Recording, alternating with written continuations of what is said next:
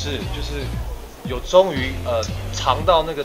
成果的感觉，就是啊很辛苦的种了一棵树，它终于长大，然后终于果子结出来的感觉，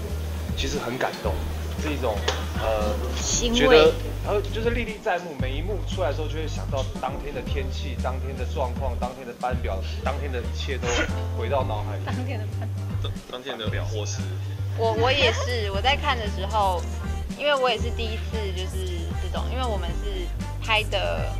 学生人群都非常非常多，所以说真的不是很好拍。然后看到成果的时候，还是觉得蛮感动，加上洪正的歌声。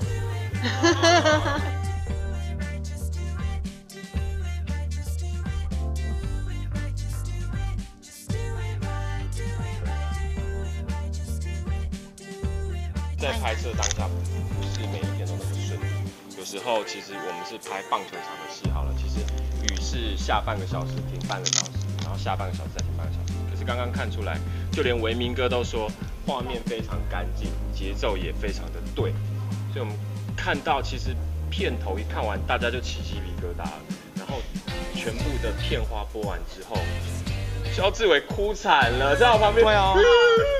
哭。我没有想到我会就是哭哎，我是直接溃堤。对啊，我也一直在忍，因为我整个变黑。没有下一部戏演的。